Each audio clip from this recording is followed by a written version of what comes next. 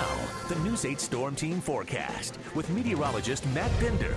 You're looking at this afternoon's peak dew points, and I have to say these are some of the highest dew point readings I've seen in a long time. Very humid air, very hot conditions out there. 76 in Indiantown Gap in York.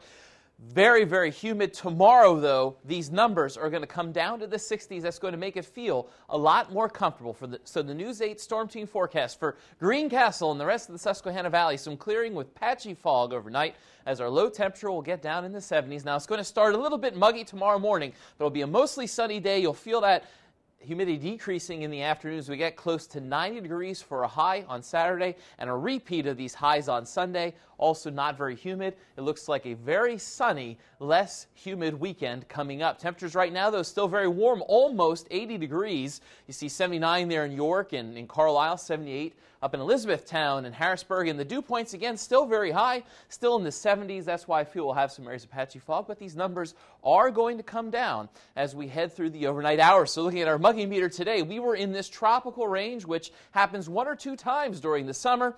As we go through the weekend, though, it's going to dip down into the 50s. That's going to make it feel much more comfortable. Here are the storms that move through the early evening hours. You see, as they hit the lower Susquehanna Valley, they dried up that cold front was being stretched out as it moved through, and as it did so, the showers basically stayed off to our west and also off to our north and east, and now high pressure is building in.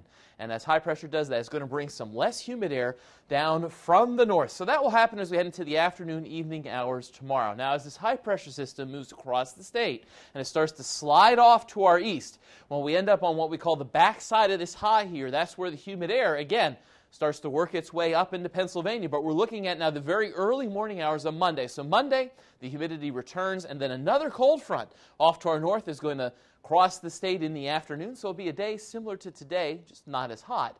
But the humidity will be there on Monday once again with a chance of an afternoon scattered shower. So the weather ad for this weekend, the main story is going to be hot, not as humid. This is going to be a good weekend for those summer activities. Those activities might include a trip down to the Jersey Shore or the Maryland beaches, and you see temperatures in the low 90s, but low humidity once again. Plenty of warm water there along the oceans. Also along the bay, here's the information for you.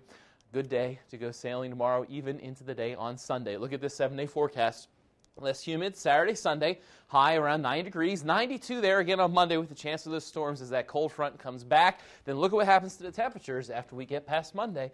We're down into the upper 80s, which is seasonal for this time of year. We'll have a pretty good day there on Tuesday. Wednesday, another front moves through. Thursday, a little bit cooler, so we're in this little bit of a weather mm, pattern Welcome where the August. heat and humidity builds up and then right, showers you, take Matt. it away. Yep.